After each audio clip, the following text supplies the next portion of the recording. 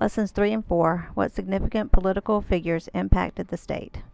This lesson covers Standard H8, Element C, discuss the impact of the political career of Eugene Talmadge, and Standard H9, Element D, discuss the ties to Georgia that President Roosevelt had and his impact on the state.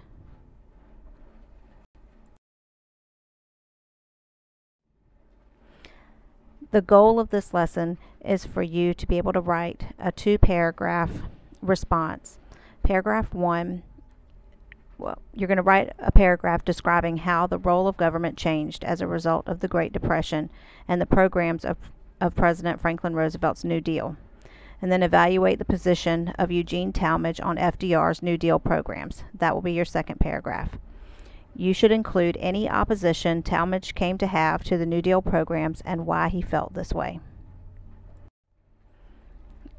There's one term that you will probably need to know to help you with this lesson, and it's gubernatorial. This is relating to a state governor. For example, a gubernatorial election is the election for a governor.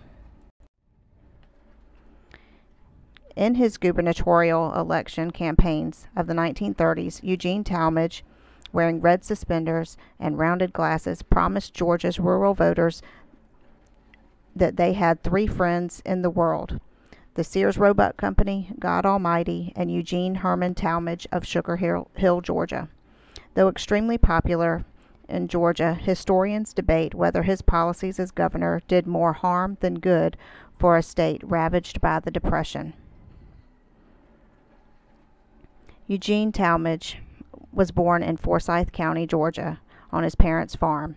He was born in 1884 and died in 1946.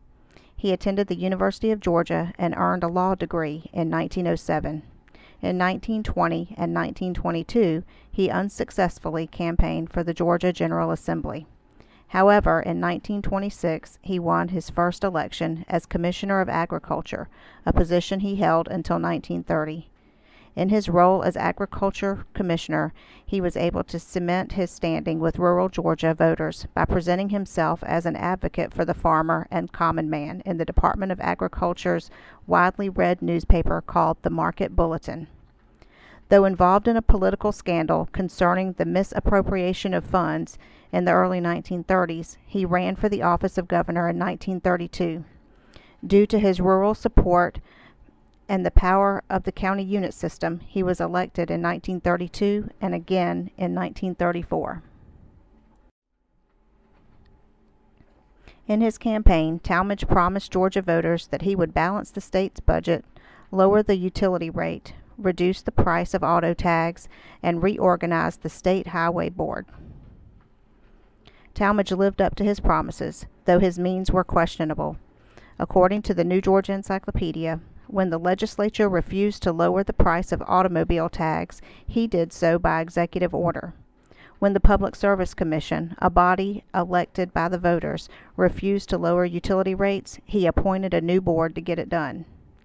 When the Highway Board resisted his efforts to control it, he declared martial law and appointed a more cooperative member, more cooperative members to the board. Talmadge also made decisions that hurt the state. He fought against Roosevelt's New Deal policies, especially those that aided African Americans, and opposed Roosevelt's renomination in 1936. Due to a Georgia constitutional amendment barring Talmadge from being reelected in 1936, he made two unsuccessful campaigns for the U.S. Senate. However, in 1940, he was reelected and made a decision that greatly damaged the state's university system.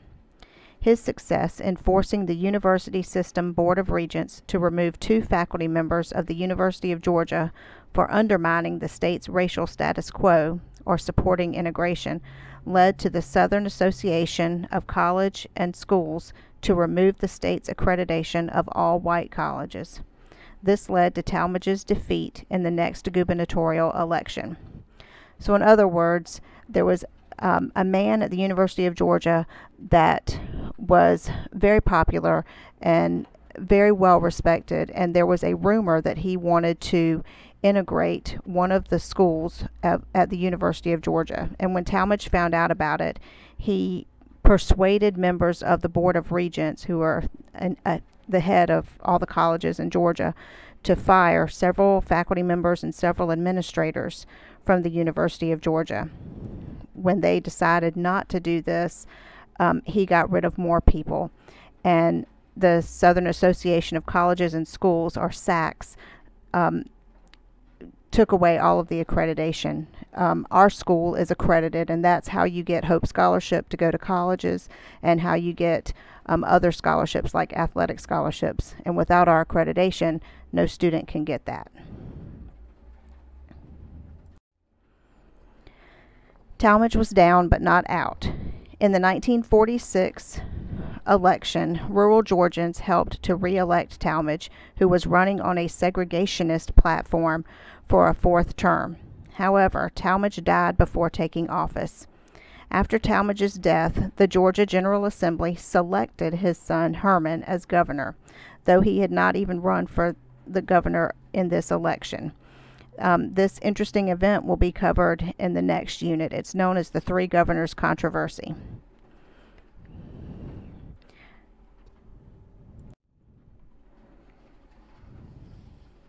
Franklin Roosevelt visited Georgia over 40 times from 1913 to 1945. Primarily, he came to Georgia and stayed at his home in Warm Springs, which became known as the Little White House. During his presidency, Roosevelt exercised in the warm water pools of the spring to help ease the crippling effects of polio, a disease he contracted in 1924. Roosevelt used the seclusion of Warm Springs to take a break from the strain of his four terms in office. While in Georgia, Roosevelt made several appearances and made many speeches throughout the state. He was well loved by most Georgians due to his New Deal program, which provided aid to many suffering from the effects of the Depression. He endeared himself to many Georgians when they heard that he became a friend to the locals in the Warm Springs area and hosted a Thanksgiving dinner to all the patients in the spring.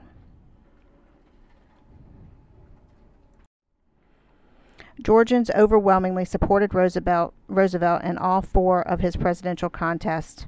However, his visits to Georgia were not without controversy.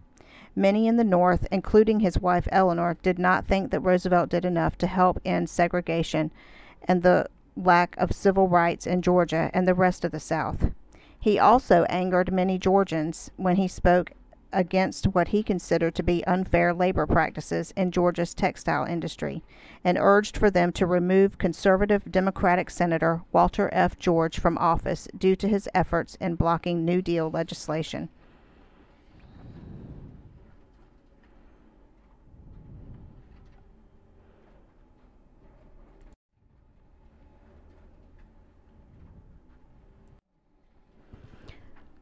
Roosevelt was visiting Warm Springs on April 12, 1945, where he died after suffering a massive stroke. Most Georgians were extremely saddened about the loss of their adopted son.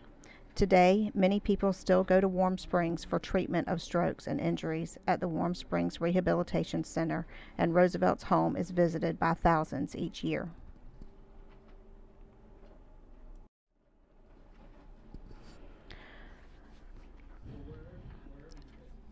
When Roosevelt was president, we saw the role of government change drastically, or the role of our federal government. Before the Great Depression, the government policy was more of a laissez faire policy, and we discussed this in our last lesson. So you can go back and review lesson two if you need to. But just briefly, laissez faire is a lack of government intrusion in businesses. If a business is failing, it was up to them to get it fixed.